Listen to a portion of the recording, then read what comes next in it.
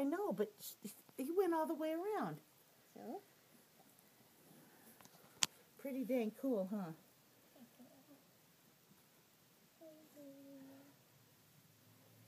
Mommy says you good mommy. She is a wonderful mommy. Little puppy. She she this morning I gave her a big bowl of a cereal bowl filled with milk and food and Pedialyte, and I left it up here because I had stuff to do downstairs. Mm-hmm. And I came back up. There were like ten pebbles left. She had flipped the bowl over and then taken this whole thing, buried it. She and the puppies were over in the corner.